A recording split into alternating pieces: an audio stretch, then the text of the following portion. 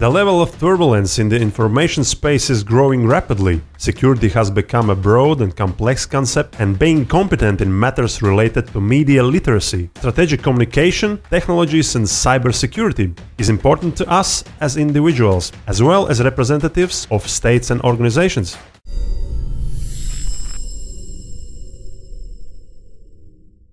Um, it's important for all of us to look after ourselves in the same way that we would in the physical world. So you wouldn't leave your home without locking the front door.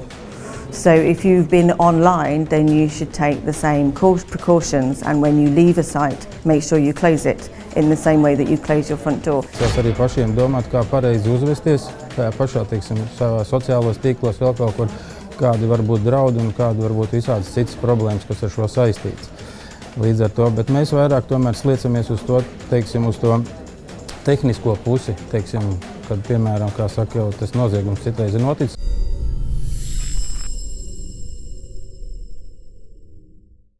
idea of this master program is uh, how to make uh, specialists with more deep knowledge in um, virtual and augmented reality systems development but also system design. We started uh, virtual reality already 10 years ago with industrial training so uh, it was more related to food processing industry uh, but now we have during these uh, years we have gathered experience also in uh, logistics, in architecture, so how to visualize buildings uh, outdoors, for industrial uh, planning, for city planning.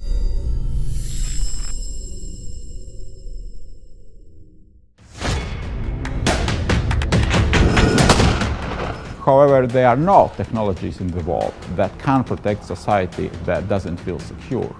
And so it was in the Stone Age, and so it will be in the future. Study program Strategic Communication Governance will help you better understand our society and uh, different techniques of manipulation. Study program Strategic Communication Governance is for future leaders with ambitions, not only to create great strategies, but to implement them.